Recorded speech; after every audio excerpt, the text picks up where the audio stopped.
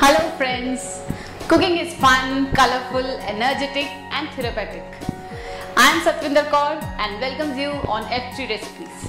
आज मैं बनाने जा रही हूँ वेजिटेबल पूड़ा जो कि बेसन से बनता है जिसके इंग्रेडिएंट्स हैं ऑनियन थोड़े पुदीने के पत्ते हरी मिर्च शिमला मिर्च स्प्रिंग अनियंस नमक कॉर्न गरम मसाला कैबेज और बेसन। अब हम एक बाउल में बेसन ले लेते हैं।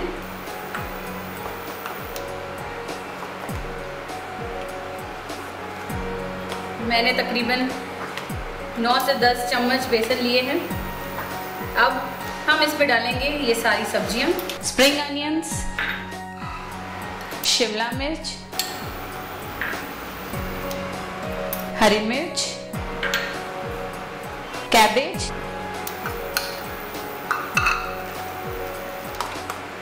ऑनियन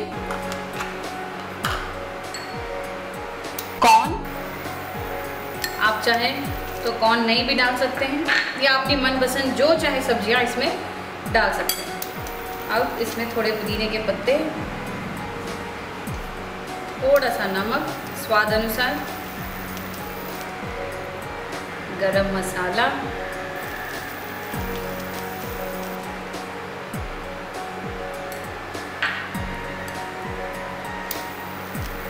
इसे अच्छे से मिक्स कर लीजिए।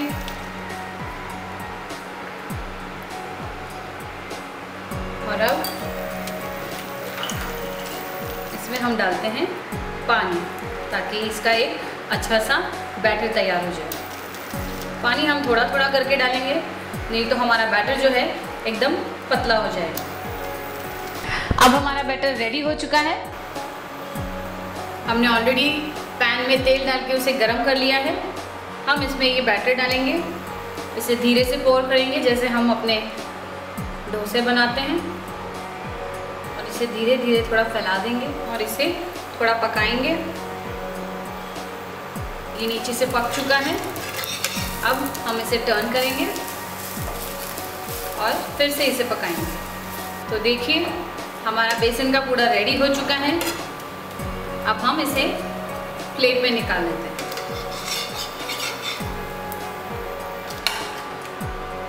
देखिए, हमारा वेजिटेबल पूड़ा रेडी हो चुका है। आप इसे ग्रीन चटनी या सॉस के साथ सर्व कर सकते हैं। आई होप आपको ये रेसिपी ज़रूर पसंद आई होगी। अपने कमेंट्स और सजेशंस हमारे ईमेल एड्रेस पर ज़रूर भेजिएगा। And don't forget to subscribe See you next time on F3 Recipes. Till then, goodbye.